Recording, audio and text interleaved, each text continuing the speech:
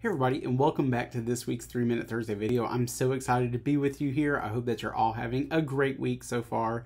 Uh, we are praying for you. If there's anything that we can be praying for, please let uh, me know and uh, we will get it done for you, whatever you need. But we're just so thankful for you. We're thankful that you're part of our children and student ministry. Uh, and so here are a couple of reminders for this upcoming week. First, uh, Sunday, um, we start off at 8:45 a.m. with life groups. Life groups are amazing, uh, and it is just a, such a good time for our children, our students, but also for you parents to come together to do life together, to talk through Scripture, to just open up God's Word and let it just speak over you uh, as we start off the morning of worship, and then we have worship at 10 a.m uh, the Sunday morning, just like always. And this Sunday is going to be very cool because we have baptism and we have parent child dedication that's going to happen during our 10 a.m. service. Um, also, during 10 a.m. service, we have Kids You Worship. And this is such a good time. We are in a series called Just Do It with our children right now.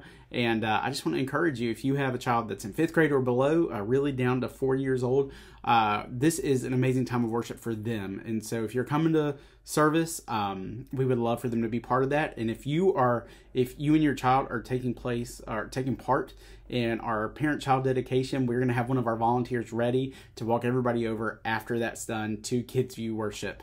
Um, so we uh, are really looking forward to that. And then next week is pretty big for our students. And so uh, first, I want to remind all of you, um, dads and sons and everybody out there, that we are having our uh, men and boys hunt through Cimarron Outdoors, through uh, Brother Frank's ministry that Pastor Eddie and he are leading the way. And if you want to sign up for that, you need to do it pretty soon because there's only a couple spots, like 10 spots per hunt. And that is next Thursday and Friday, the 13th and 14th.